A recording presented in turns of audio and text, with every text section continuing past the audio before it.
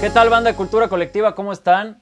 Nosotros muy contentos de seguir eh, generando conciencia para elegir en este proceso electoral. Y el día de hoy nos acompañan Gloria y Axel, eh, muy controvertidos personajes en este momento. Gloria es politóloga, especializada en relaciones internacionales, conductora de radio y televisión y es conferencista internacional. Alex es abogado, es autor, doctor en filosofía, columnista, director de la cátedra F.A. Hayek, Universidad Adolfo Ibáñez y director ejecutivo de la Fundación para el Progreso de Chile. ¿Cómo están?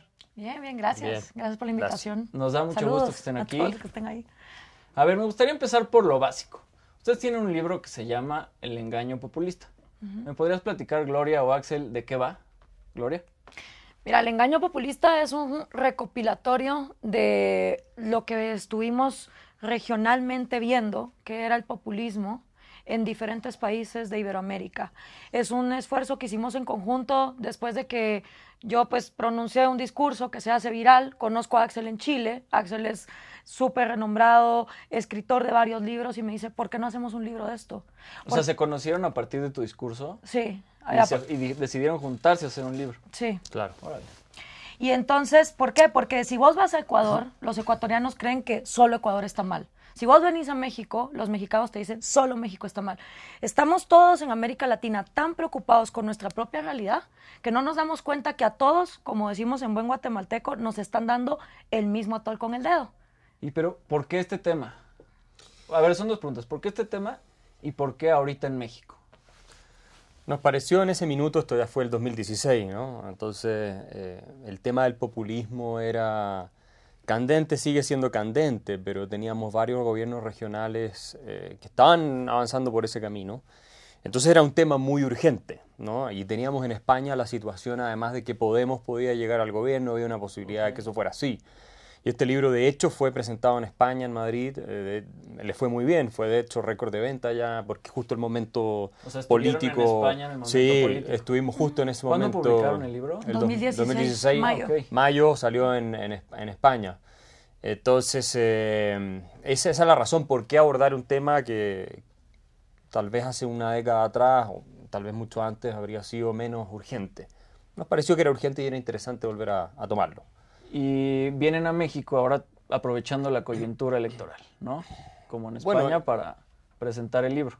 En realidad, eh, no estamos en una gira de presentación del libro. Estamos, Gloria está aquí por, por razones más de trabajo, más permanente, más Yo trascendente. estoy viviendo acá en México desde hace dos Ok. meses. Pero de hecho el libro lo hemos presentado en varias ocasiones y yo he venido a México a dar conferencias desde el año 2015. Eh, estuve en Monterrey, estuve en Chiapas, estuve aquí en Ciudad de México. Lo que pasa es lo mismo que pasa en toda América Latina, ¿va? Desgraciadamente tenemos votantes y eso también hacemos en el libro. Volteamos la mirada hacia que la responsabilidad ante nada es de nosotros como ciudadanos porque somos los que escogemos estos líderes. Y lo que pasa con los votantes latinos es que solo le ponen coco a la política cuando vienen elecciones. Pero que yo viniera antes a dar conferencias y nadie me pelara, o muy poquita gente, la que ya te seguía en redes sociales, no es mi culpa, pero de decir, ah, es que hasta ahorita, no, ahí están las evidencias de que yo he venido muchas veces a dar ¿Por qué le conferencias. ponen el adjetivo engaño al populismo? Porque O sea, es, un- es un engaño el Digo, populismo. es, es un tema muy controversial ahorita, que Mm. obviamente está en boga en las elecciones, pero pues nadie comprende bien a qué se refieren. Se habla de que Obama es populista. Bueno, ha habido muchos gobiernos de izquierda y derecha populistas. ¿Por qué le ponen ustedes engaño? Porque el populismo que consiste académicamente, esta es la definición más o menos aceptada en la academia, ¿no? Eh, y es una especie de... Hay algunos que lo definen como una especie de ideología que lo que hace es dividir la sociedad entre el pueblo y el antipueblo, entre dos polos extremos. El antipueblo sería la élite, el establishment que abusa históricamente de un, de un pueblo que no está formando parte del poder y que reúne un conjunto de virtudes y de cualidades. El pueblo sería bueno, el antipueblo sería el malo. Y lo que plantea el líder populista es que él es el representante de la voz del pueblo.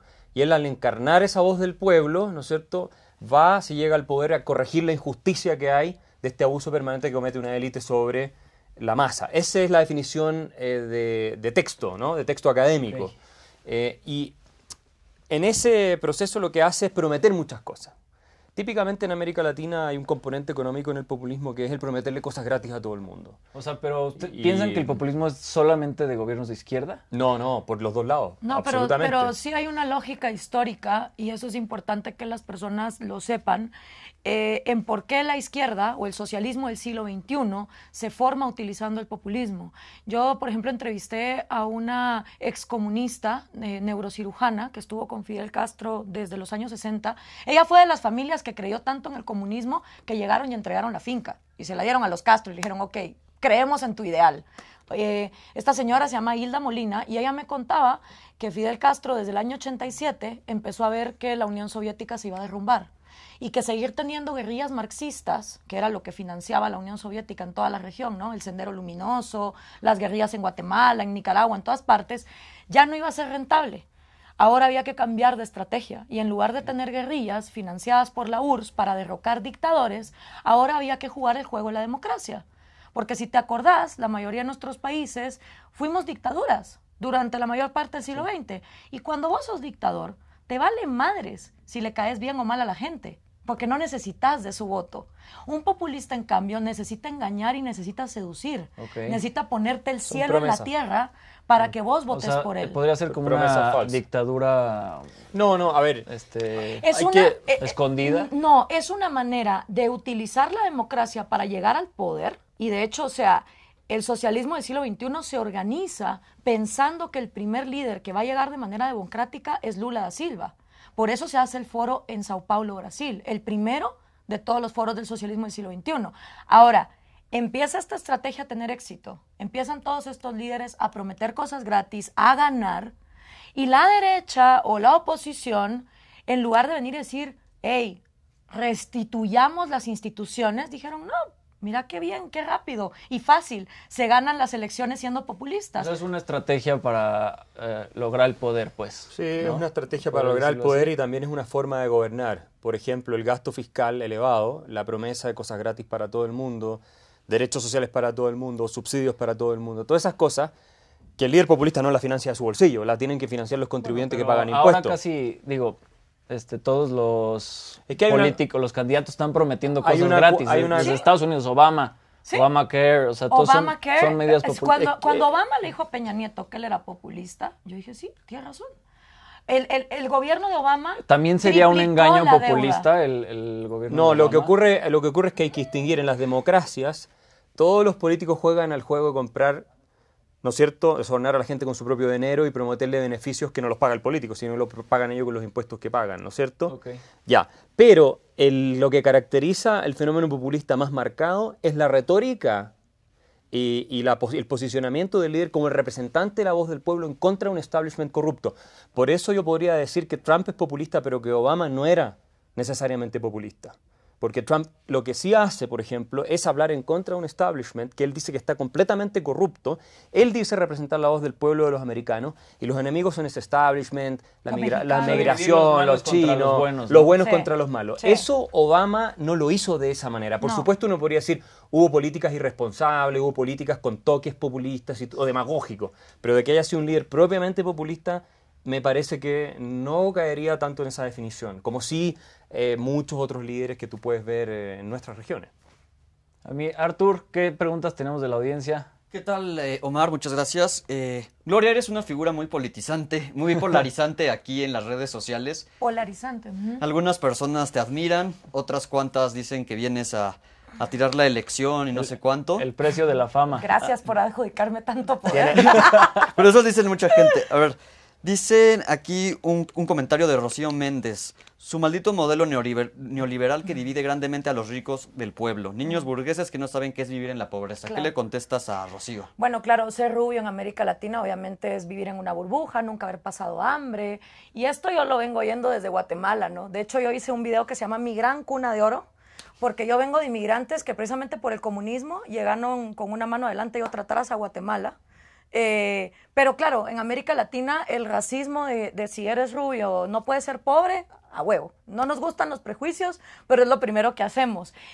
Mira, hay varias cosas en lo que ella está diciendo. Primero, neoliberalismo. Ese es el gran monstruo al que le echamos la culpa de todo, ¿no? De hecho, yo me leí el libro La salida 2018 de, de AMLO, he leído muchísimo los discursos de los eh, socialistas del siglo XXI y siempre el neoliberalismo es el culpable de todos nuestros males.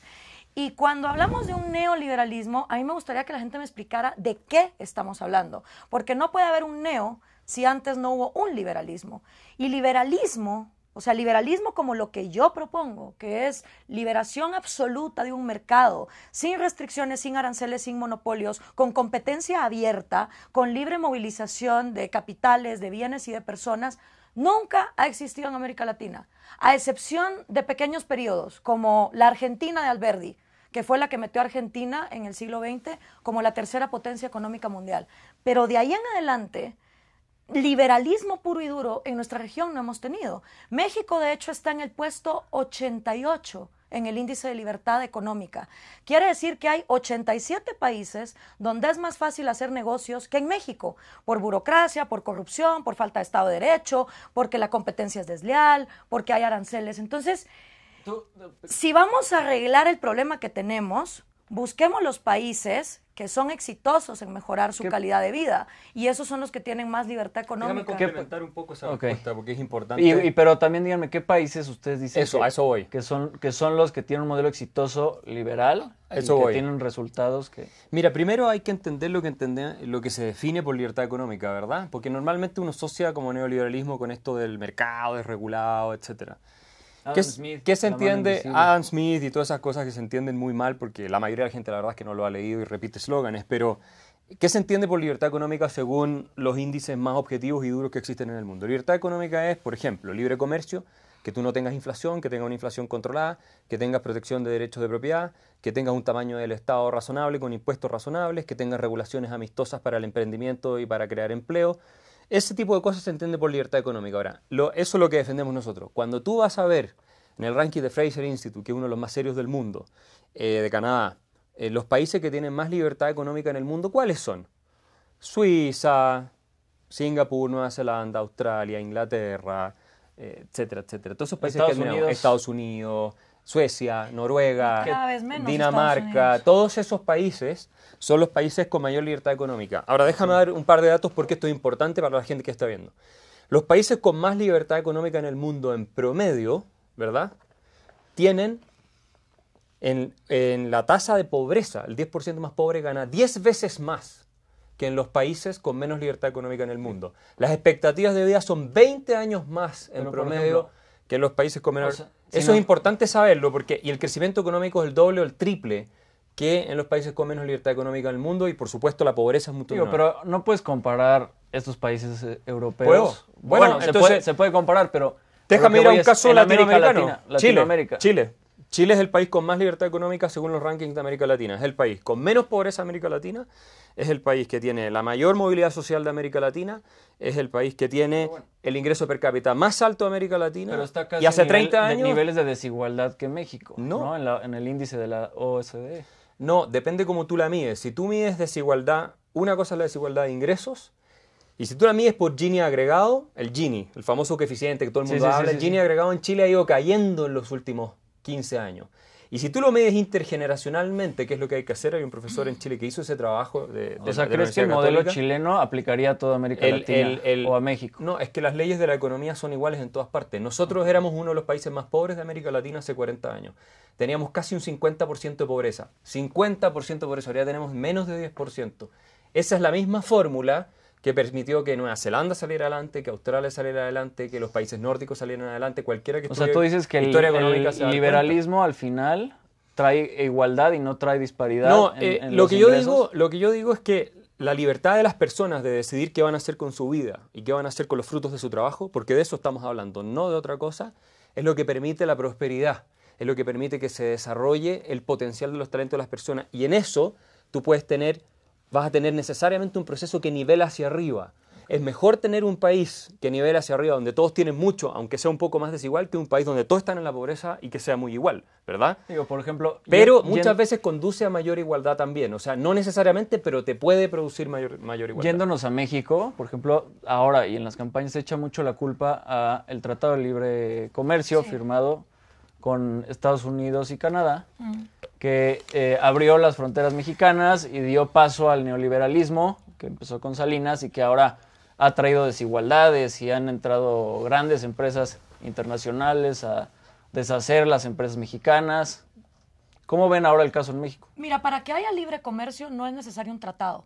Tú solo abres las fronteras y ya está. Y no tiene que de hecho, los, los tratados lo que hacen es poner cláusulas de excepciones para los empresarios de toda la vida, las oligarquías que dicen, bueno, sí vamos a tener libre comercio, pero mi empresa no, porque yo soy fulanito de tales. Y al final los tratados a veces lo que hacen es que protegen a los empresarios de toda la vida, mientras que le dejan las reglas de libre comercio solo a los pequeños comerciantes. Entonces, para que haya libre comercio, tú de verdad si quieres libre comercio, no necesitas un tratado. Ábrete al mundo y que venga aquí todo Dios a competir, a poner Pero empleos. compiten de forma desigual. ¿Por qué van a competir de forma desigual?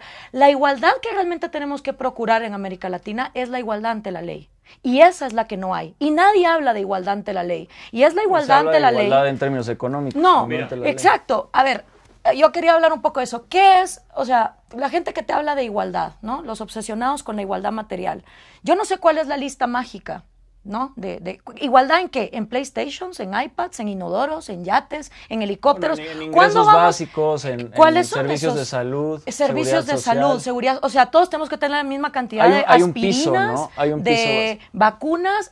Sí, pero es que es muy bonito venir y decir igualdad en salud. Sí, pero la salud es un montón de cosas. Es medicinas, operaciones, salarios de enfermeras, hospitales que se tienen que construir. ¿De dónde sale esa plata? Calidad de vida. Por eso, entonces, la gente que habla de igualdad nunca da una lista exacta con nombre de productos Bueno, la y, ONU y decir, tiene el la- día que haya esta igualdad, va a desaparecer la maldad en el mundo. La tesis es, cuando haya igualdad material, todos vamos a ser éticos y lindos.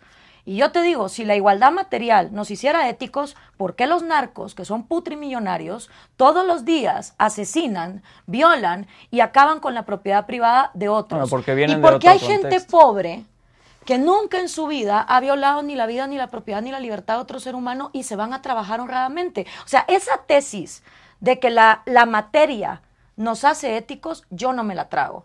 Ahora, para que acabemos con la verdadera desigualdad que nos tiene jodidos en América Latina, tenemos que empezar a, hablar de igualdad ante la ley. Porque en este ¿A qué te refieres concretamente a igualdad ante la Igualdad ley? ante la ley es que a todo individuo por igual se le respete su vida, su propiedad privada y su libertad.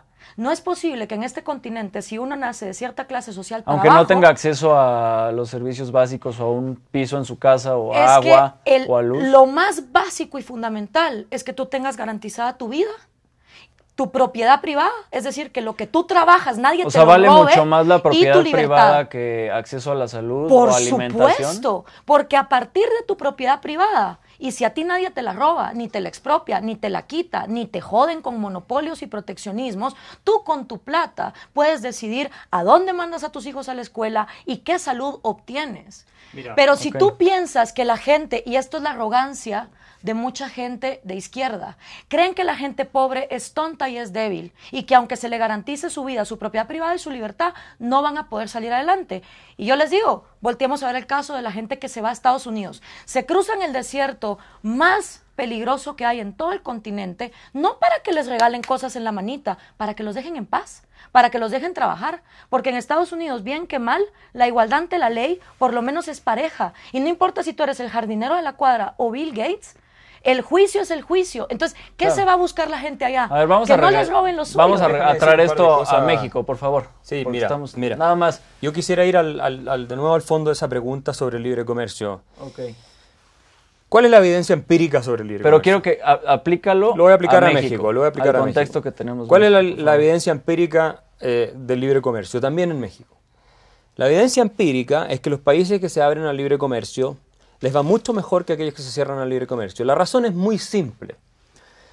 Si tú Bueno, no hay una verdad absoluta en eso, ¿no? no, sí, Ni no, cuál es el no hay, no hay discusión hoy día entre los economistas serios en esta materia. Hay un absoluto consenso en materia de economía, así como la ley de oferta y demanda, todo el mundo lo acepta. Bueno, habría que En ver. general, el Son proteccionismo. posiciones políticas. es una mezcla de todo. No puede Mira, ser totalitario. en Hoy día, corriente. hoy día, no, no, no, si no es totalitario. Si tú me dices que la ley de gravedad también es discutible, bueno, entonces entremos a discutirla porque hay distintas opiniones. No es, no es discutible.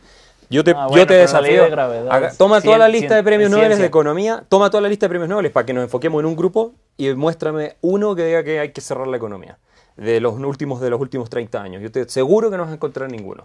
Bueno, eh, ¿qué te quiero decir? Déjame poner un ejemplo para que también sea aplicable a México, porque uno dice, no, es que nosotros no somos europeos. Bueno, Chile era uno de los países más cerrados al libre comercio del mundo. ¿Ok?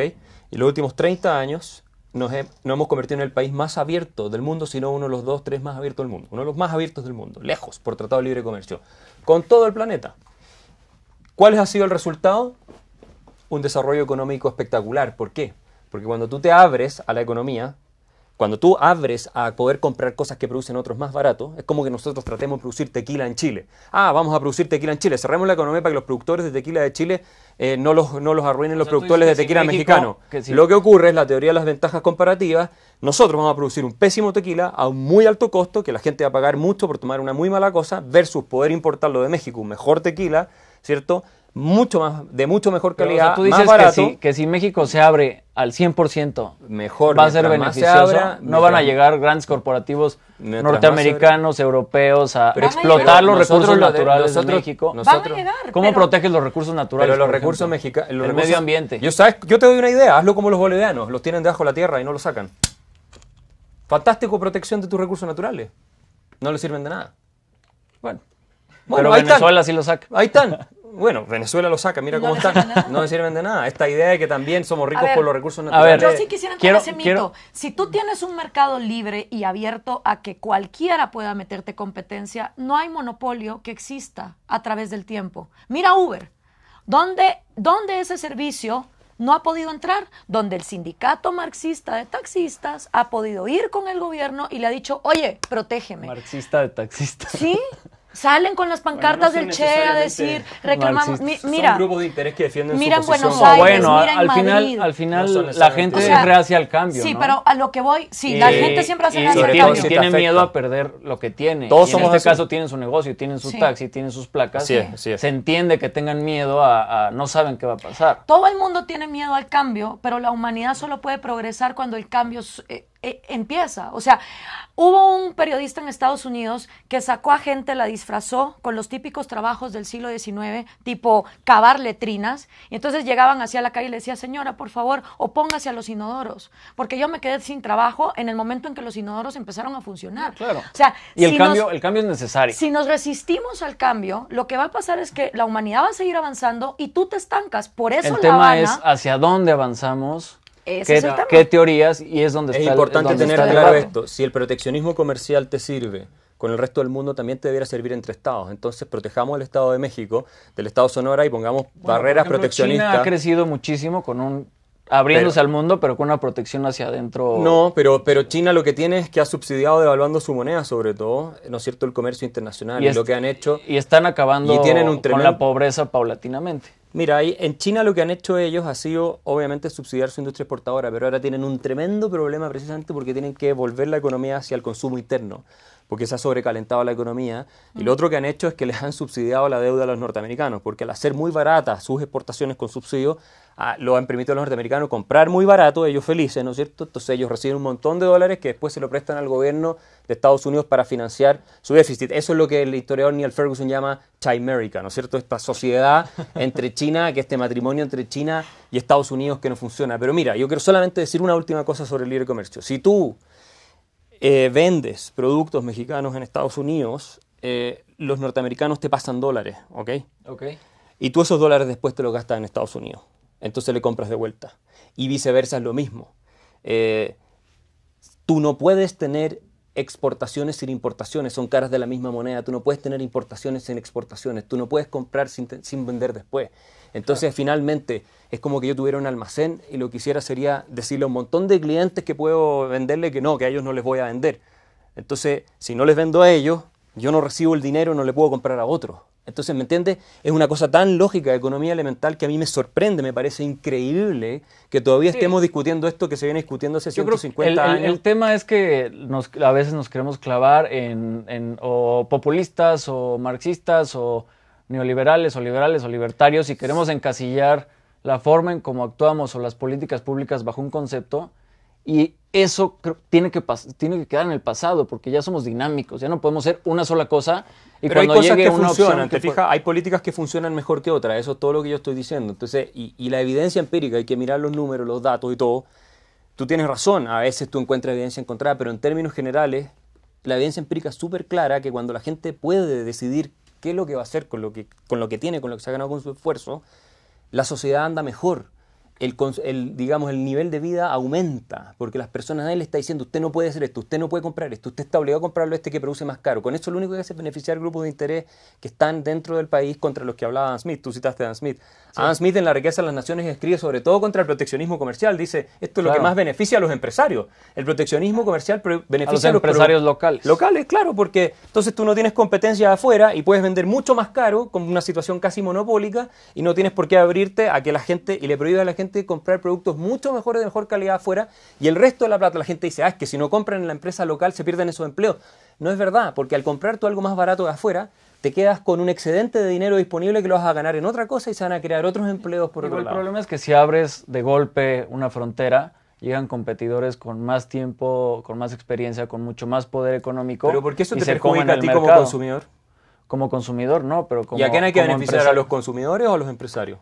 Pues, los empresarios están en la Los élite. empresarios mexicanos dan trabajo a mexicanos. Sí, pero los más Pero lo que pasa- muchas veces. Lo que pasa es que cuando tú le abres a los consumidores la posibilidad, es lo que digo yo, se van a crear otros empleos. ¿O tú crees que si tú abres la importación, aquí no va a haber un montón de industria impo- importadora que se va a abrir, de distribuidoras, de Tendrías que poner locales? reglas de producción local, de... No, no, no, no tienes que hacer eso. Yo creo que si ¿Quién? haces eso, entorpeces todo y se empieza a corromper porque los grupos de interés empiezan a coludirse y a financiar y corromperse con los políticos para que le hagan las reglas en su beneficio. Al final perjudica a la gente. No, to- no todo el mundo es productor en esta vida. Yo no sé hacer una computadora, sin embargo me beneficio de una. Yo no sé hacer una cámara, sin embargo he, usado- he- he usado muchísimas y puedo llevar mi mensaje gracias a ellas. O sea, yo necesito de toda esa inteligencia que está desperdigada por el mundo para que haya todos los medios de transporte, los productos, las medicinas de las cuales yo me beneficio. Entonces, los obsesionados con la democracia deberían de ponerse a pensar que el sistema más democrático que hay, el que más beneficia a la mayoría, y si la mayoría somos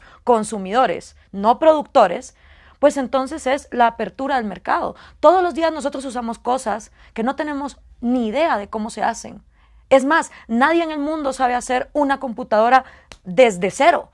Todo viene por, por eso, ¿no? Por esa inteligencia colectiva, este cuando tú pones barreras y pones reglas, impides que pase de un lado O al sea, el otro. mercado naturalmente va a poner sus reglas Por ejemplo, bajo las La leyes de la oferta y la demanda. La gente pone sus reglas. Este es una empresa. Nosotros estamos en un canal que es una empresa, ¿verdad? Así es. Y gana dinero. Da empleo a mucha gente, ¿cierto? Así es. Ya, ¿cuántas de las cosas que se usan, las cámaras, la televisión, eh, las técnicas de construcción, todo eso fueron inventadas en México? No, pues no te sabría decir, pero muy Nin- pocas. Prácticamente nada, ¿cierto? Bueno, aquí El está talento, el talento es ta- mexicano. El talento es mexicano, ok, pero, El capital pero estamos hablando Sí, de, capital de importación y exportación y mucho de ese talento también es por know-how que se enseña en universidades acá, que también se ha producido en otras partes. Hay profesores extranjeros que vienen a hacer clases, etcétera. Entonces, el mejor ejemplo de que abrirse a la economía crea otro tipo de empleos que tal vez no estarían es este, porque No, lo- más es abrirse al mundo. Es la abrirse- globalización. exacto. Pero bueno, Bueno, vamos a hacer algo. Vamos a Ah, hacer pero algo. una cosa más te quería decir, no sobre este tema, sobre otro. Yo sí soy partidario, Gloria también, para que quede súper claro que haya un piso, porque hablamos del piso mínimo, ¿no? Ok. De recursos, eh, que eso no es lo mismo que hablar de igualdad, porque hablar de igualdad es que nadie puede estar muy arriba, es como decir, bueno, Claro. eh, digamos, Messi no puede ser muy bueno, entonces pongámosle una cadena para que no sea tanto mejor que el resto. No, no, dejemos que la gente llegue lo más alto que pueda en todos los ámbitos de la vida, pero preocupémonos de los que están mal, ayudarlos a que se puedan parar sobre sus propios pies, no a convertirlos dependientes para y, que... y el gobierno tiene que hacer Yo creo, que esa, hay, esa yo tarea creo que hay un de rol, redistribución. Yo creo que hay un rol redistributivo eh, de políticas públicas del gobierno, pero que tienen que ser muy bien hechas y ojalá con mucho empoderamiento de la gente que es beneficiada y no de los burócratas y de los políticos, porque si no se presta para corrupción. Si el problema está, México tiene un tamaño del Estado de más de 40% del producto, o sea, es un Estado gigante y se gasta muchísimo dinero supuestamente causa social. ¿Cuánto realmente le llega bien a la gente que lo necesita, te pregunto yo? Entonces, ¿por qué quieren seguir dándole dinero si no está funcionando el sistema? Quieren seguir probando lo que ya no está funcionando. Entonces, dejemos a la gente trabajar libre, dejémosla comprar lo que quiere comprar, que haya harta inversión en el país, del mismo Entonces, país, un salario mínimo, del por extranjero. ejemplo, ¿qué opinas del No. Yo salario soy partidario del ingreso mínimo, no del salario mínimo. El ingreso mínimo funciona de manera tal que personas que están en el mercado formal, que es otro problema en México, y no llegan a un cierto mínimo, tú les haces un suplemento, ¿verdad? De manera que lleguen. Pero es que si tú fijas el precio del salario, a los que más perjudicas es a los que no alcanza ese nivel de productividad para justificar que los contrate el empleador. Entonces, si tú lo fijas por decir algo. Si no alcanzan el nivel de productividad, nos vamos a un tema de educación. Pero y de entonces lo contrata. Es que eso toma más tiempo, yo estoy de acuerdo. Pero es, como eso toma más tiempo, lo que tú haces, decirle al empleador, mire, contrátelo, tal vez le cuesta más o sea, tal vez, le, aunque no le pague lo que nosotros queremos, pero le damos un suple para que llegue a un mínimo bajo el cual no esté, ¿ya? Pero si tú le dices al empleador, mire, usted solo le puede pagar de aquí para arriba, los que no son productivos de ahí para arriba los va a dejar marginal. ¿Te fijas? Entonces, eh, resuelves el problema de que a la gente no le falte, pero lo resuelves ahorita, de una manera... los tres candidatos están diciendo, vamos a subir el salario mínimo por lo menos a 88 pesos, pero tiene que subir al doble o al triple en los próximos ¿Y por qué no lo suben a un millón de pesos? Pues sí, sí bueno, porque ya, no salen las cuentas. No, pero ¿cómo? por, pero ¿por qué te salen las cuentas a 88 pesos o a, lo que sea y no te salen a un millón? Las leyes de la economía son las mismas. Con 10 pesos o con O sea, ¿cuánto desempleo tendrías en México en un salario mínimo de un millón? No, pues muchísimo. Prácticamente estaría todo el país desempleado, ¿no es cierto? De Estaríamos todos desempleados con ese tipo de salario, pero es, lógico, porque la productividad no nos alcanza para llegar a eso. Entonces lo que tienes que hacer, por eso digo... O sea, soltar... No es fijar el precio, si tú fijas el precio... ¿Cómo fijas el ingreso mínimo? tú tienes que determinarlo de acuerdo a lo que tú estimas, y obviamente es un tema que depende de cuántos recursos tengas disponibles, y hay un cierto sesgo de arbitrariedad en eso, de lo que tú estimas que el país es capaz de solventar para un cierto grupo de personas, y al mismo tiempo eh, lo que te parezca razonable de donde bajo en el que no, tú, no quieras que caigan, como tú bien dijiste, cierto nivel básico de atención de salud, cierto nivel básico, obviamente, de nutrición, de vivienda y esas cosas, pero siempre incentivándolo a que trabaje también por eso tú no puedes dar el regalo, porque si tú lo das, lo convierte en un dependiente y no lo estás siempre el diablo está en los detalles, ¿ok? la filosofía está padre, pero bueno, vamos a fijar y cuando nos vamos a fijar... Es difícil, pero se ha hecho en otras partes. Pero me gustaría este, regresar un poco a, lo que hablabas del foro de Sao Paulo y cómo eso tiene que ver con, con México y con las campañas ahorita. Ok. El Foro de Sao ¿Qué Paulo. Es el Foro de Sao Paulo. El Foro de Sao Paulo es la manera en que la izquierda marxista latinoamericana, de la mano de Fidel Castro y Lula da Silva, cambian la agenda para que el comunismo pueda seguir vigente en América Latina tras la caída del muro de Berlín en 1989. O comunismo y populismo. Bueno, te dejo terminar, ahorita entramos a eso. Ajá, vamos a eso. Entonces, el comunismo, según lo estaba estableciendo Fidel Castro en el resto de la región, seguía la lógica de Marx, ¿no? Violencia, sangre, la lucha de clases, imponer a unos por encima de los otros. Cuando entra la lógica del Foro de Sao Paulo, nuestros países empiezan a tener gobiernos civiles y democráticos, dejan atrás las dictaduras, se empieza a analizar en el Foro de Sao Paulo a uno de los líderes marxistas que refutó esa idea de Marx, que fue Antonio Gramsci. Antonio Gramsci, del Partido Comunista Italiano, dijo Marx estaba equivocado. Para realmente implementar estas ideas en una sociedad, lo que hay que hacer es hegemonía cultural. Se trata de invadir universidades, cines, cultura, eh, religión incluso, familias, es decir, permear ideas de las que ya habló Axel un poco, esto del pueblo y el antipueblo, las cosas gratis, todo esto. No, más que totalitario, un paternalismo estatal de decirte, yo me voy a encargar de ti, ¿ok?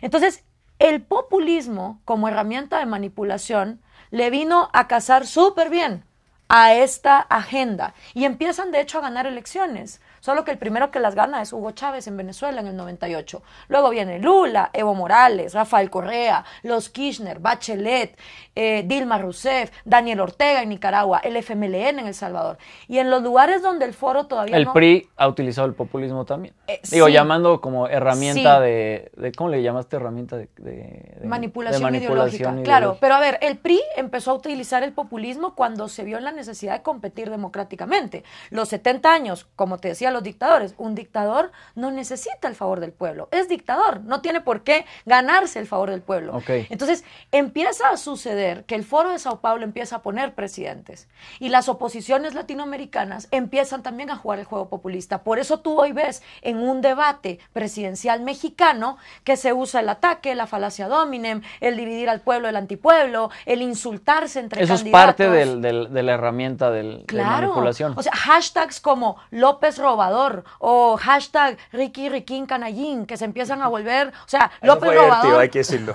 Es súper divertido. Y ver los Ya está ahí memes. un remix. Por eso, entonces está lo de López Robador, lo de Ricky Riquín Canallín, lo de Bronco haciendo las... O sea, ya la gente se va por ese circo, que eso es lo que fomenta el populismo. Pan y circo. Diviértete mientras tu país está yendo a la fregada. Y el problema es que todos los mexicanos están apuntando a un proyecto que en lugar de abrir fronteras, lo que quiere es cerrarlas. Ha fracasado en O Venezuela. sea, los tres partidos. Por supuesto, a ver, yo no vi ningún partido que dijera, señores, hay que subir del puesto 88 al puesto 50. Ninguno. No vi ninguno que dijera, legalicemos las drogas y liberalicémoslas. No vi ninguno que dijera, aquí lo que hay que hacer, señores, es abrirnos al comercio. A todos los vi ofreciendo subsidios de dinero que no es suyo, por supuesto. Todos hablando de un salario mínimo. Todos hablando de, de estas medidas que una y otra vez han probado fracaso. Porque es lo que la gente quiere escuchar. Ah, claro. Y es eso. A ver, ¿qué, qué o político? sea, es darle pan y circo ¿Qué político va a ganar elecciones si tú le dices, a ver, señores, miren, yo no les voy a, a regalar nada? Yo lo que voy a hacer es que haya seguridad y justicia, que haya igualdad ante la ley, para que cuando entre ustedes se maten o se roben, haya un juez que castiga al culpable y resarce a la víctima. Pero de lo demás se encargan ustedes. Va a haber libre competencia, arréglenselas. Nadie quiere oír eso. Entonces, por eso es que te dicen, ay, bueno, pero con esa ideología libertaria, es que ¿quién te va a votar? Si seamos honestos, en América Latina no nos gusta que nos digan que los responsables de nuestro trasero somos nosotros. O sea, se volvió pecado recordarle a la gente que sus hijos, Bueno, el Bronco lo que trae sale algo de así, tu ¿no? cuerpo es tu responsabilidad. El Bronco dijo algo de que quería ser menos asistencialista y que la gente y quería dar trabajo y que la gente ¿Y, y cómo va el Bronco en las encuestas? Pues mal. Pero después, de aquí a tres más, tal vez. De aquí a tres, tal vez, tal No, vez. mira, yo creo que hay mucho desconocimiento también y hay una intuición de que la gente que se preocupa y que es buena persona quiere regalarle a otros, ¿no? Es como, mira, ellos no le quieren regalar, entonces son malos. No, no, le- no les importa a la gente. Y la verdad es, Es, una que... forma de quitarle a los ricos para darle a los pobres. Es que ¿no? mira- Relativamente, porque al final supuestamente los, los, los ricos pagan más impuestos Sí, proporcionalmente mira, yo- que los pobres y lo- se los llevas a través de programas Nosotros- sociales. Mira, yo te digo, nosotros tuvimos esta discusión en Chile con, el presi- con la presidenta Bachelet hace poco tiempo atrás, y yo hice el cálculo y se viralizó en YouTube, tuvo millones de visitas del video. Si tú agarras las 10 fortunas más grandes de Chile y las divides eh, para cuántos meses te va a financiar el gasto público chileno, te alcanza para 6 meses. Yo estoy seguro que si tú haces lo mismo en México va a ser una cosa parecida. No hay, es un mito de que existe tanta plata acumulada en los ricos arriba que tú si se las quitas y la distribuyes todo el mundo puede vivir prácticamente para siempre mucho mejor sin trabajar. No es verdad eso. No es para la cantidad que se maneja y las demandas y las necesidades que hay. La plata es ínfima, es marginal.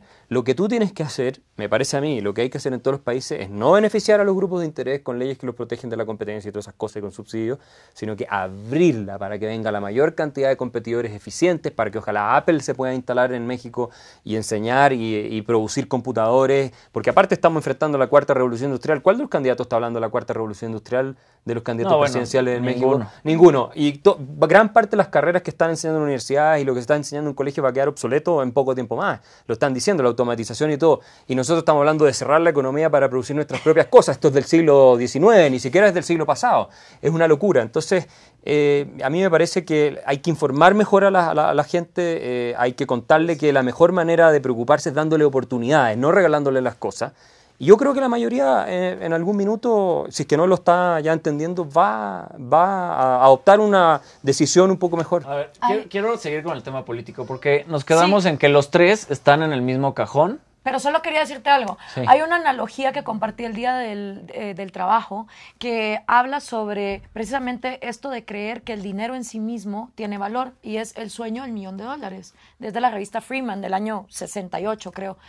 Y entonces es un tipo que dice, ayer tuve un sueño, abría yo la puerta de mi casa en la mañana y había un millón de dólares en mi puerta y dije, wow, soy millonario, ya no tengo que trabajar en la vida. Pero cuando volteé a ver así para los lados, resulta que mis vecinos también les habían dejado un millón de dólares. Entonces apresuradamente agarré mi millón, me fui al supermercado, estaba cerrado. Porque toda la gente que trabajaba en el súper también había recibido un millón de dólares. Eso es me fui a la farmacia, lo mismo. Me fui a todas partes, lo mismo. Hasta que entendí que todo el pueblo había recibido un millón de dólares y que todos estábamos con la ilusión de que ya no había que trabajar. Eso nos duró como dos semanas. Empezó a escasear todo porque ya nadie producía nada y eventualmente, aunque teníamos un millón de dólares en la casa que no valía para nada, todos tuvimos que volver a trabajar después. Esto lo que explica es que el dinero en sí no es Claro. el que mágicamente ostenta analogía. riqueza. Tienes que producir.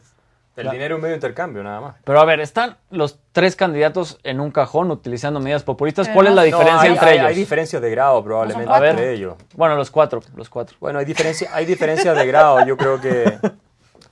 Los cuatro, perdón. No sé, yo, no, yo soy extranjero, no quiero venir acá a hablar sobre la política mexicana porque la gente la conoce mucho mejor que yo. Siempre, por supuesto, en las elecciones hay alternativas, a veces son todas malas, pero unas son más malas que otras. O sea, y como decía Aristóteles, el, el mal mayor comparado con el menor es un bien, y eh, en fin, la política es muy así. ¿Cómo podrían aco- acomodar Pero- esas opciones? Yo creo que, mira, yo creo que lo- uno, tiene, uno tiene que buscar lo que, lo que sea menos eh, mágico. El que tenga el discurso más mágico, más de yo voy a cambiarlo todo de la noche a la mañana y va a haber un antes y un después y México nunca va a estar mejor. Yo creo que el que sea más así está vendiendo más, nosotros en Chile decimos la pomada, está vendiendo un sueño, una utopía, ¿para qué? Para que se despierten en seis años más dándose cuenta que no fue así, que fue una pesadilla tal vez, o que en el mejor de los casos no mejoró nada. Entonces eh, yo creo que ese, ese barómetro, viste, cuando la gente te ofrece, te están vendiendo, tú de repente vas al comercio y te, te dicen, no, esto es milagroso, esto le va a resolver todo, ¿eh? Y uno dice, no, no, no, no, te lo pienso comprar porque si te dicen que es demasiado bueno es porque no es verdad. Yo creo que ese es un buen indicador de cuál el- de, de por dónde tendría que uno irse ¿Tú, fijando. Gloria, qué opinas? Mira, yo lo que veo es un hartazgo social en México sin precedentes con el status quo. Y cuando la gente está harta de su status quo y no le mete cabeza al tema, va y vota con el hígado. Y, y a la persona que agarra de vengador no le pasa el mismo examen de ética ni de transparencia que sí ya le pasó al status quo. Entonces yo siento que aquí muchas personas, cuando uno viene y les dice, a ver, yo te voy a explicar lo que ha pasado en otros países, lo que ha funcionado y lo que no, te dicen, no, pero es que tú entonces me estás diciendo que entonces tengo que seguir con el status quo. No, el status quo te tiene en el puesto 88 en el índice de libertad económica. Yo quisiera un México y una América Latina que estuviera entre los primeros 10 lugares. Yo no estoy diciendo que el status quo es lo que, con lo que deberías de conformarte, pero si vas a votar por un modelo que del el puesto 88 te va a mandar al 150, sí vas a estar más jodido de donde estás hoy. Y si todos los gobiernos miembros del socialismo del siglo XXI, los partidos miembros del Foro de Sao Paulo, que aquí no solo hay uno, hay dos, ¿Quiénes son? el PRD y Morena. Ambos son miembros del Foro de Sao Paulo. Entonces, yo no votaría por lo que he visto en América Latina por ningún partido que sea miembro del Foro de Sao Paulo. ¿Por qué? Porque, ¿qué, qué se dice de la historia? Que el que no la conoce está condenado a repetirla. Entonces, si todo te apunta a que eso es lo que hacen esos modelos. Ok, pero entonces me estás diciendo que me quede con el status quo. Tampoco. Si yo fuera mexicana, ¿sabes qué Ese hubiera es el hecho yo? dilema en el, en el que estamos los mexicanos. Sí. Este status quo contra... Sí, pero te voy a decir otra cosa. A mí también me molesta cuando los latinoamericanos dicen, no, es que ya vienen elecciones. Dime por quién votar.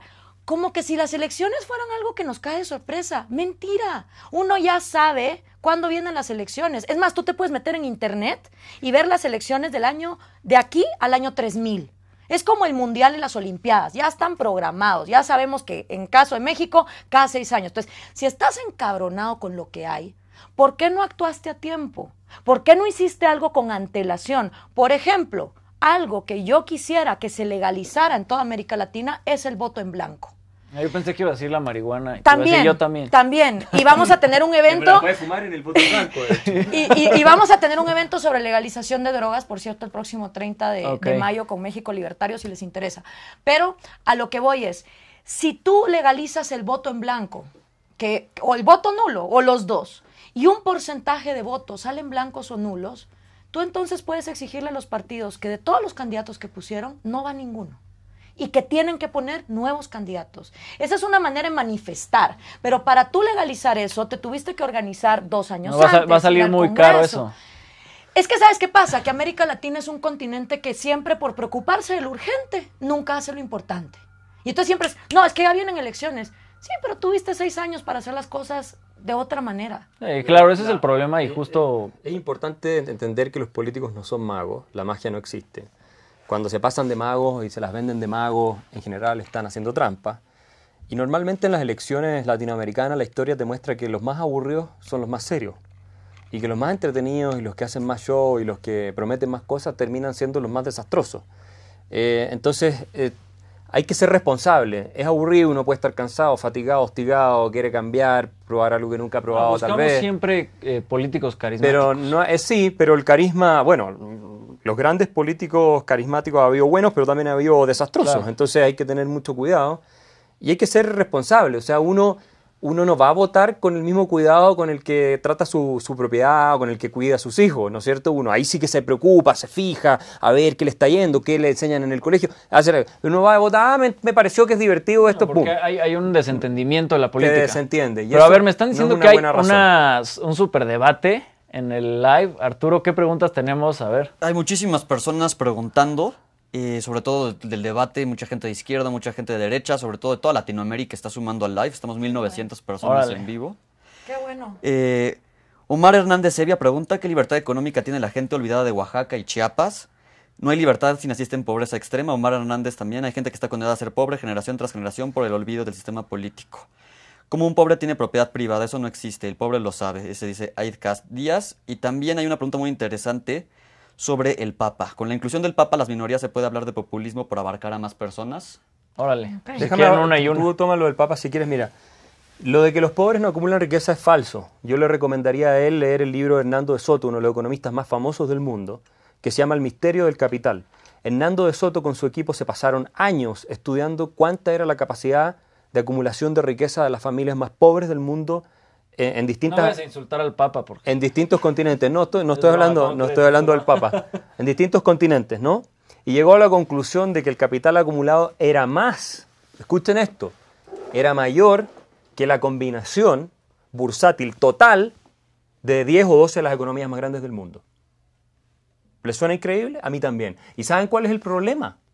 ¿Y cuál es el problema que pasa de por qué la gente no sale adelante? Y ahí sí, es responsabilidad política, porque no existen las instituciones ni el derecho de propiedad, ni las facilidades burocráticas que les permitan a ellos convertir la propiedad que son capaces de generar en activos, en crédito y en otras cosas para poder ir emprendiendo, desarrollando sus negocios. No, sí existe es, convertir la propiedad. No, en, en países como los nuestros, en América Latina en general, en países que están en vía de desarrollo, Tú te puedes tomar 10 años en algunos países en poder abrir un negocio formal.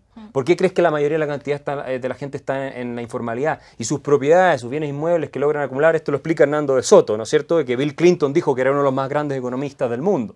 ¿ya? Bueno, resulta que eh, se les hace imposible porque no tienen títulos de derecho de propiedad muchas veces sobre lo que han acumulado, sobre sus, sobre sus inmuebles, sobre lo que sea. ¿Te fijas? Entonces el problema es de instituciones. Mira, hace, hace 200 años atrás y esto es un dato estadístico, el 99% de la población mundial vivía en la extrema miseria. Noruega, uno de los países más ricos del mundo en 1850, tenía un ingreso per cápita más bajo que el de Bangladesh hoy día, uno de los países más pobres del mundo, muy parecido al de Bangladesh. ¿Qué es lo que hizo que cambiara en 150 años? O en 100 años, si tú quieres. Y se multiplicara por más de 30 el ingreso per cápita que ellos tienen. Y hoy día uno de los países más ricos del mundo. Instituciones que les permitieron a ellos ¿cierto? Tener derechos de propiedad, abrirse al también comercio. captar el ahorro del mundo, y por supuesto, bueno, eso vino, eso, eso vino después, ¿eh? Eso vino después, pero les permitió tener estas reglas del juego claras. Esto es como el fútbol. Si tú en el fútbol no tienes reglas del juego, juego claras y un buen árbitro que le pone tarjeta amarilla al que hace falta, al que hace Entonces estás diciendo que sí se necesita algo de regulación. No, por supuesto, pero, pero, el los, los derechos de propiedad, los derechos de propiedad son regulaciones. Es el Estado el que dice, mira, esto es tuyo y si alguien te lo viene a quitar, acá hay un tribunal que te va a defender y acá hay una policía que te lo va a devolver. Ahora, el problema es que cuando eso es corrupto y tú estás en una posición social desventajosa, entonces, ¿quién gana? El que tiene más fuerza. Y ese es el problema porque no hay igualdad ante la ley, lo que decía Gloria, porque el que es más fuerte, ese sale libre de polvo y paja, y el que no es igual de fuerte... Ahorita en México todos salen libres, ¿eh? En México todos salen libres. Si tú eres pobre, eso, su mira, bueno. mira, por ejemplo, eh, películas que te enseñan así como El Infierno o, o series como Capadocia. O sea, si tú eres pobre en América Latina y aunque la ley esté de tu lado y tú seas inocente, te pudres en la cárcel porque no tienes la plata para corromper y salir. Entonces, esa desigualdad ante la ley hace que los pobres permanezcan en la pobreza. Por ejemplo, en Guatemala, yo lo que digo es, señores, el día que el gobierno pueda garantizar seguridad y justicia, un Estado donde todos los días hay 14 muertes violentas diarias, un robo cada seis minutos, o sea, vida y propiedad privada, los derechos más Pero ¿cómo violados. puedes lograr que haya esa igualdad cuando tienes gente Igualdad con ley. capitales, con activos, y no nada más económicos, con activos en todos los sentidos, que metieron gente a la política, que, que tienen influencia en todos los sectores, con, con esa sociedad sistema tan capturado, desigual. dices O sea, es un tema capturado. por la misma desigualdad. O sea, tienes a alguien que es el No, más rico del mundo. Separando economía de Estado. Es que mira, si un empresario levanta el teléfono a su congresista favorito y le dice, oye, ponme un arancel, y el cuate le dice, lo siento, manito, ya el gobierno no tiene jurisdicción sobre la economía, no te puedo hacer favorcitos. Ya no puede haber privilegios monopólicos para esos empresarios. Si tú separas gobierno de economía, cada uno está por su cuenta y entonces empieza a haber movilidad social, porque cualquier persona fácilmente puede emprender, puede volverse formal, mientras sus derechos de propiedad estén garantizados. Entonces, hablando de Oaxaca, Chiapas, pobreza Claro. extrema, naces ahí. Chapas, en ¿sabes qué, pobreza sería, extrema. ¿sabes qué sería genial? Si el mercado está abierto, Pero ¿qué ¿cómo hace? se ha resuelto la pobreza extrema en otras partes? ¿Cómo se ha resuelto? Con crecimiento económico. Mira, la, pobre- redistribución. la pobreza ha sido marginal. Mira, la pobreza, la redistribución juega un rol, pero es marginal comparado con el crecimiento. Primero porque para redistribuir algo tienes que crearlo. Si no tienes crecimiento económico no puedes redistribuir nada. Partamos de esa base. ¿A quién le vas a cobrar impuestos si nadie está produciendo? ¿Ok? Eso es lo primero. Lo segundo es, mira, la, la pobreza es la condición natural del ser humano. No, estos edificios, estas cosas, esta ropa, no está dada en la naturaleza, no la encuentran, no. Hay que producirla. ¿ya? Para producirla tú necesitas ciertas condiciones. Por ejemplo, que tú sabes que si vas a producir algo, no llega un montón de gente y te lo quita y te lo arrebata, y te lo roba inmediatamente y te mata en el proceso. Como era antes con las guerras tribales Claro. que se masacraban entre todos. Ok, bueno. Cuando tú tienes esas reglas básicas y cuando no tienes un Estado que te pide 30 licencias, te hace pagar 500 impuestos y todas esas cosas, entonces tú puedes empezar a dedicarte a, con tu ingenio, salir adelante. Todos nuestros antepasados son pobres, de los que están acá y de los que viven en México. Son todos pobres, a menos que haya alguien descendiente de, directo de la reina Isabel de Inglaterra o alguna cosa así. El resto, todos nuestros antepasados eran personas que vivían hace 150 años atrás en extrema miseria, lo que hoy día consideramos extrema miseria. La forma como se resolvió eso fue con la revolución industrial, permitiendo que la gente desplegara su potencial creador, no porque alguien le redistribuyó algo, sino porque su ingenio permitió que desarrollaran todas estas famosos inventos, ¿cierto? De Thomas Alva Edison y toda esta gente, ¿verdad? Que nos ha permitido mejorar la calidad de vida. Esa es la manera. ¿Y cómo lo haces en estados pobres? Atrae inversión extranjera, para eso tienes que tener seguridad, y nacional, tienes que tener seguridad jurídica. No puede ser, si tú tienes, obviamente la delincuencia espanta la inversión. Inversión, Y con hay algunas em- hay reglas, empleo, decía, regla. Hay empleo, por supuesto, el empleo implica que la gente empieza a ganar dinero, con el tiempo empieza a subir el ingreso, con eso pueden al mismo tiempo reactivar demanda para otros negocios que crean a su vez otros empleos y al mismo tiempo empiezan a tener mejor educación, empiezan a tener un Estado que también recibe más ingresos por impuestos y puede invertir mejor en políticas públicas. Es la única manera, no existe otra manera. Eh, esperar que alguien venga y te regale las cosas, eh, eh, en general, no digo que no haya que hacer algo de redistribución, ojo, cuidado, estoy diciendo como Entonces no es un a libera- caer liberalismo puro y abrupto. Pero a ver, Eso vamos. es- eso es déjame plantearles. Lo que lo otro que- concepto. O sea, hay una, por lo que veo del Foro de Sao Paulo, una conspiración, podría llamarse así. No, una conspiración se hace a escondidas. El Foro Sao Paulo está en Wikipedia, se reúnen todos los años, llega la Bueno, prensa. un esto ha sido abierto. a todos luces. Esto no es con- esto Es ha una sido, estrategia esto ha sido así en nuestras narices, todos los hemos visto. No hay por el otro lado una estrategia abierta libertaria o liberalista para abrir todos los mercados y que los- las grandes empresas como Walmart, que a veces tienen un PIB mucho más grande que, que algunos países, puedan hacer, controlar también eh, eh, Mira, los mercados, por ejemplo. ¿no? Es bueno preguntarse, por ejemplo, el caso Walmart o Apple, que también tiene una de las capitalizaciones bursátiles más altas del mundo. ¿Por qué les va tan bien a ellos?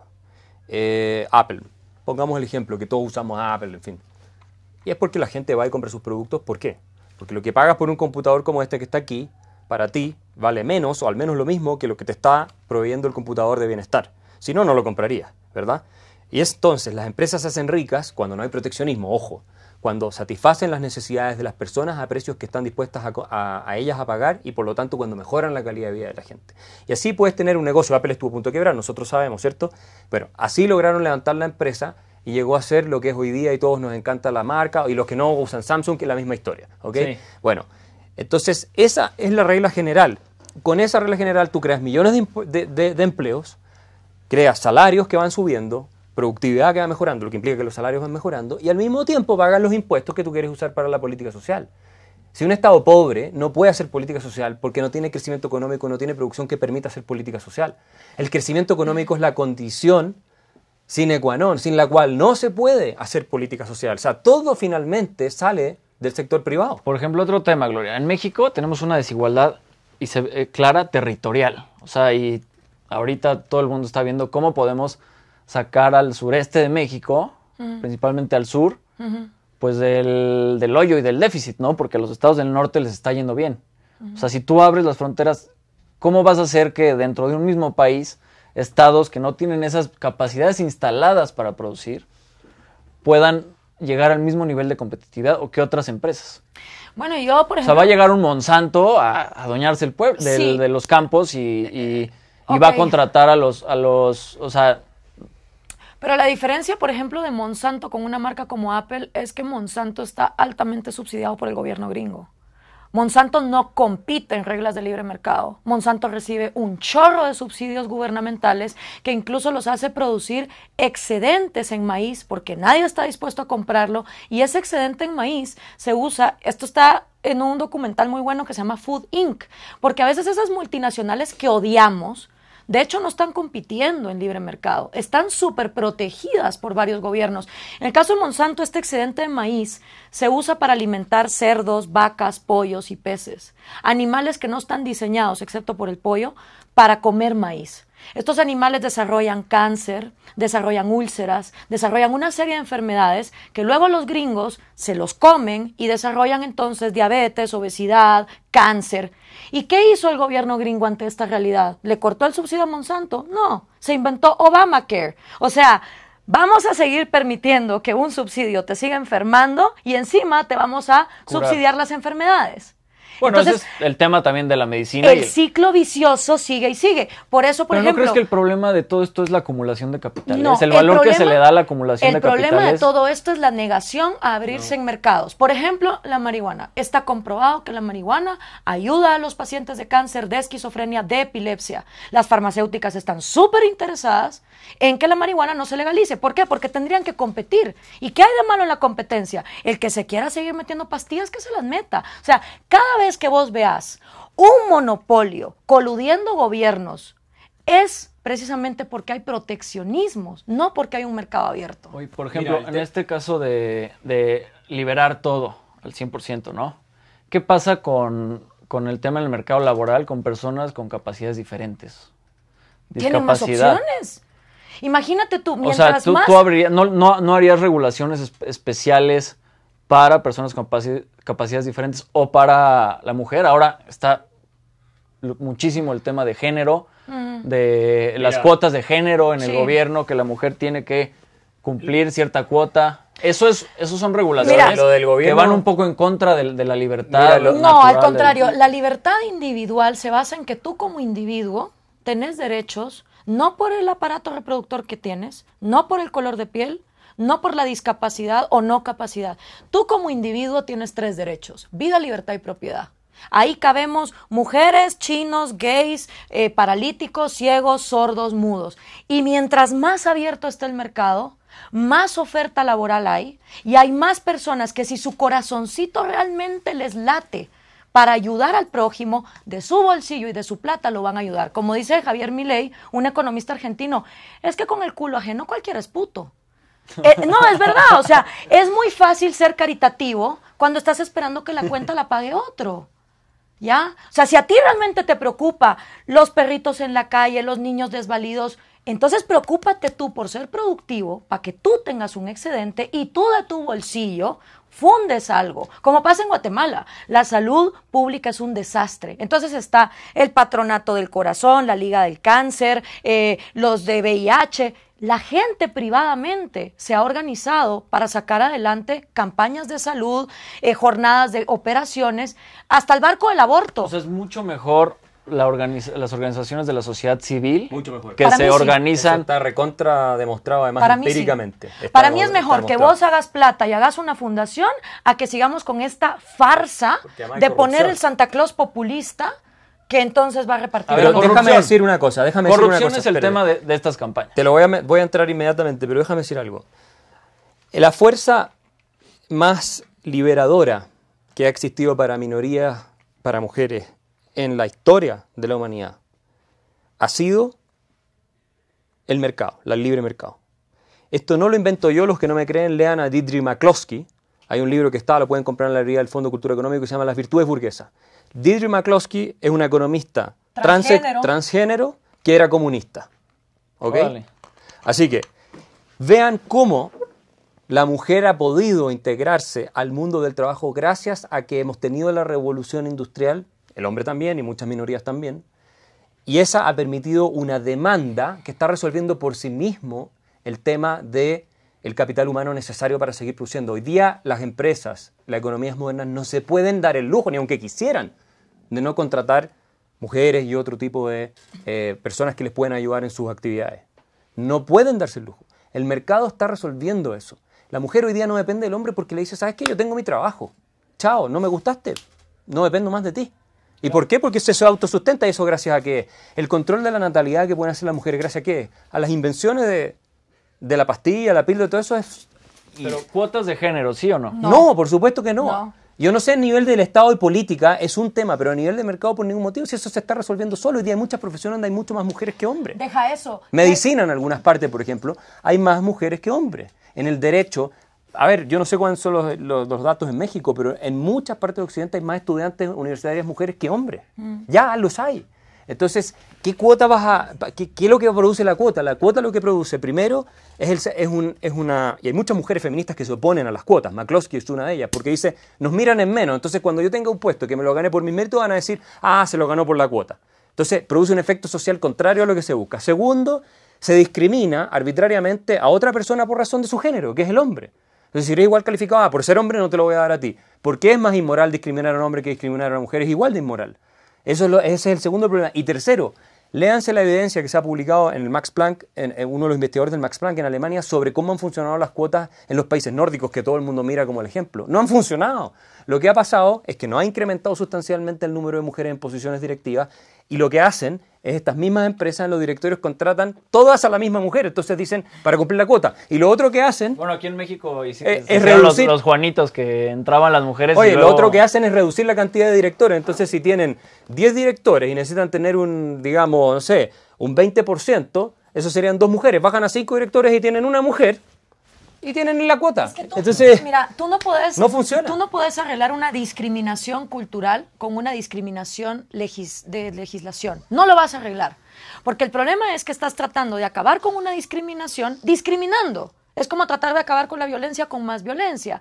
Si nosotros en América Latina queremos empezar a premiar el mérito, y ver más allá del color de piel, del estatus social y de la sexualidad y del género, tenemos que empezar a valorar a la gente por su mérito. ¿Y qué es el mérito? El mérito es, para mí, la congruencia que existe en un ser humano entre lo que dice, lo que piensa, lo que hace y lo que siente. Es decir, un ser humano tiene más mérito mientras más congruencia hay en esas cuatro cosas y tiene menos mérito mientras más se contradice entre lo que dice, lo que piensa, lo que hace, porque es una persona más deshonesta, no cumple sus contratos, etc. Entonces, si vamos a empezar a valorar el mérito, tenemos que entonces tener una sociedad que incentive a sus individuos a ser más Pero, transparentes. Como me describes, el mérito es difícil de medirlo, ¿no? No, es muy difícil de medirlo, yo creo que pero, sí. pero, pero, Pero- tú te puedes dar cuenta, si, si vos ahorita te pones a pensar en las personas que tienen más mérito en tu vida, te quitas esa tela de si es O sea, mujer, ¿el mérito si es tiene hombre. un tema moral si o no? Porque hay veces que Mira, tenemos un No, mérito por pero, un tema eh, moral. pero deja eso. El punto es el siguiente. Si yo como mujer tengo que apoyar a una mujer solo por ser mujer, entonces significa que yo tengo que cegarme ante las corruptas de Cristina Kirchner, de Dilma Rousseff, de Hillary Clinton, de Roxana Valdetti, todas políticas latinoamericanas que han sido nefastas. No. Ha sido punto- política y ha sido embarrada en corrupción. Y sus Sí. mismos votantes la han acusado por hipócrita por no defender el medio ambiente que tanto dijo defender con pipas de petróleo que pasó por lugares donde nadie quería que pasaran. Entonces, a lo que voy es, cuando a ti te ponen la cuestión de, entonces tienes esta etiqueta y tienes que apoyar a todos los de esa etiqueta, dejas de valorar el mérito y empiezas ciegamente a apoyar a un colectivo que no necesariamente lo estás haciendo por razones lógicas. Vamos contigo, Axel, luego pregunta Sí. al público y ya vamos una a, una terminar pregunta. con, con el live. ¿Todos los seres humanos tenemos la misma dignidad, sí o no? Sí. Para mí sí. Bueno, si todos los seres humanos tenemos la, misma dignidad, todos requerimos igualdad de trato. Eso significa, que, eso significa que no puedes discriminar a ninguno, ni para arriba ni para abajo. Es decir, Ni por el mérito. ni, ni discriminar arbitrariamente. No es lo mismo seleccionar. O sea, si yo no sé jugar fútbol, no puedo pedir que me convoquen a la selección nacional de fútbol y yo digo, ah, me están discriminando. No. Obviamente eso no tiene sentido. Pero lo que no puede ser es que a mí me digan, mira, tú por ser hombre no puedes tener este trabajo. Ella por ser mujer lo va a tener. Pues siempre una discriminación positiva es una discriminación negativa hacia otro. Somos los dos seres humanos con la misma No hay discriminación positiva. No debiera ex- no existe. Bueno, toda es negativa. Toda la discriminación de ese estilo, a mi juicio, es negativa. Entonces, si tenemos la misma dignidad, eso es lo que justifica que se nos apliquen las mismas reglas. Y que nosotros no tratemos preferentemente a nadie, ni a las mayorías ni a las minorías. Todos deben tener las mismas reglas y las mismas oportunidades, ¿no es cierto?, para ocupar ciertas posiciones, porque todos compartimos una esencia que es el ser humano, seres humanos, y por lo tanto tenemos la misma dignidad, ¿cierto? Y al tener la misma dignidad merecemos el mismo trato. Si a mí me tratan el día de mañana diferenciadamente por ser hombre, eh, entonces no me están tratando con la misma ni- dignidad, no me están reconociendo igual dignidad.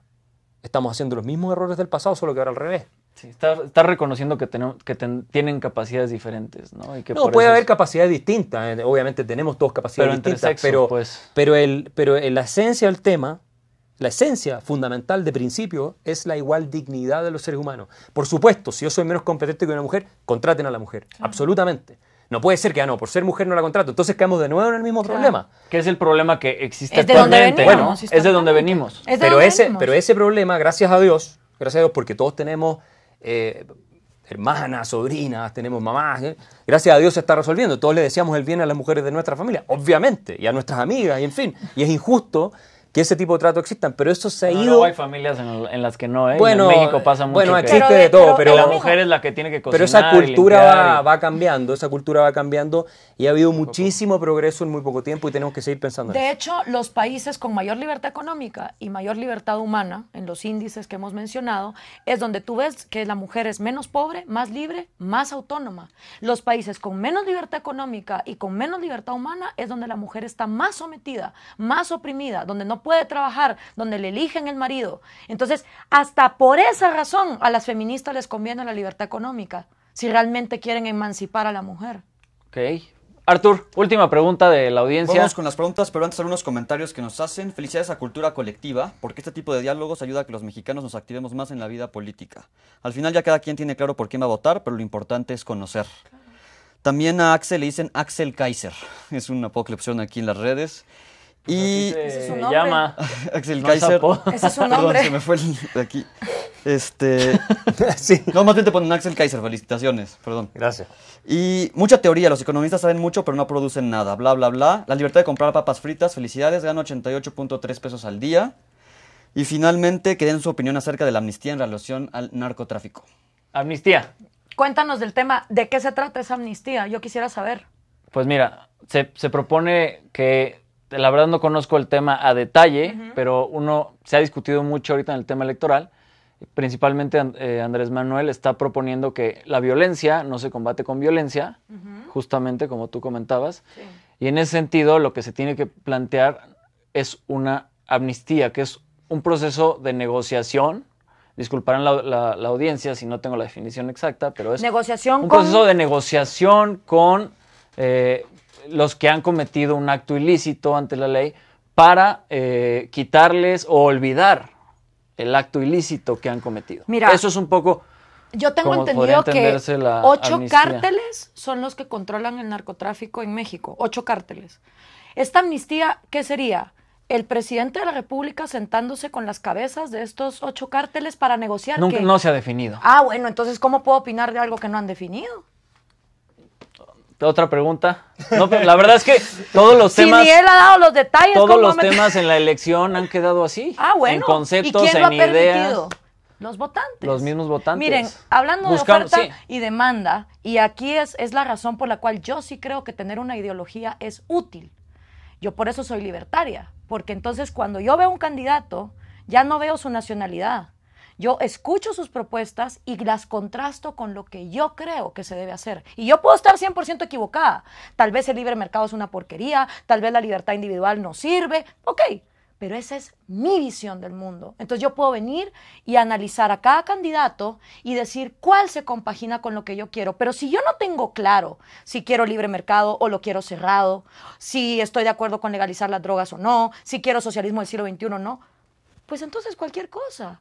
Y si los políticos no han definido las cosas que proponen, es porque nadie se los ha exigido. Nadie. Y eso es labor del votante. Y justo esa campaña, y me encanta lo que dices, Gloria, es conciencia para elegir, que nosotros en Cultura Colectiva estamos impulsando a todo para que la gente, los votantes, evalúen en realidad no a un candidato, sino a todos, porque todo el mundo ha prometido X, Y, amnistía, no amnistía, eh, ingreso básico, programas, y nadie ha dicho cómo los van a aterrizar. Bueno, tal vez alguien en la audiencia nos puede decir, o sea, por eso yo pregunto, hay ocho cárteles, ¿de qué se trata esa amnistía? De sentarse con sus cabezas y negociar. ¿Negociar qué? Porque lo mismo les pasó o similar en Colombia con lo de los acuerdos de paz. Poca gente ha leído todo lo que esos acuerdos implican, las negociaciones que se hicieron. Incluso la gente votó que no y a Santos le dio igual. Entonces, ojo, o sea, no se queden con el eslogan, vayan a cómo sería el proceso. Ok, a ver, vamos a hacer algo. Tenemos que terminar, llevamos una hora. Increíble, gracias a toda la audiencia porque nos han acompañado y están nutriendo esta conversación. Finalmente, unas palabras de cada uno de qué, qué le dirían a los jóvenes de México para este proceso electoral. Axel. Mira, yo creo que la- el mensaje es básicamente uno de responsabilidad, de no dejarse llevar por, por la magia, la magia no existe, eh, hay males mayores y males menores, yo creo que en eso consiste ser responsable, en elegir el mal menor, y de todas maneras, nunca pensar que los políticos son los que van a cambiar un país. O sea, yo esa es una idea que renuncié hace mucho tiempo. Los países los cambiamos nosotros, los ciudadanos. Y empezamos por tener ordenada nuestra casa, por hacer lo que nos corresponde, por ser honestos, por decir la verdad, por cumplir con nuestro trabajo, por ser, ¿no es cierto?, buenos, buenas parejas, etcétera. O sea, así se empieza cambiando un país. Esto de que vamos a elegir a alguien y nos va a mejorar la vida, a mí me parece un poco... eh, es muy humano, pero es algo que no es eh, muy realista no es realista, no es realista. Lo que sí es cierto que algunos políticos pueden hacer más daño que otros, eso es verdad. Pero que va a venir un Mesías a cambiar las cosas y esta vez sí, ahora vamos a ser felices y vamos a salir todos adelante, eso es lo que lleva a Trump al poder. Gloria. Pues yo decirles que se definan ideológicamente, tengan claro ustedes primero qué quieren para su país para entonces exigirle a los candidatos definición. Si ahorita las elecciones los agarraron con prisa, recuerden que vienen otros seis años, que sociedad civil se construye todos los días, no solo en tiempo de elecciones. Si no les gusta lo que hay, hay alternativas, se puede legitimizar el voto en blanco, el voto en nulo, eh, y sobre todo saber que independientemente de lo que pase en el exterior, uno siempre puede decidir la actitud con la que afronta las cosas que la vida te presenta. Y esa es la clave, la actitud con la que afrontamos las cosas en la vida. O nos tiramos a deprimirnos o salimos a flote. Esa es una decisión individual. Esa no te la impone ni el presidente ni, los, ni las grandes empresas. Esa es tuya. Me gusta, pues. A ambos muchas gracias. Disfruté Gracias. muchísimo esta Nosotros conversación, discusión. Gracias. Eh, vengan más, por favor. Gracias a toda la banda de Cultura Colectiva. Eh, sigan, eh, va a seguir el, el live, sigan comentando, les vamos a mandar las preguntas. Gracias a todos por estar aquí.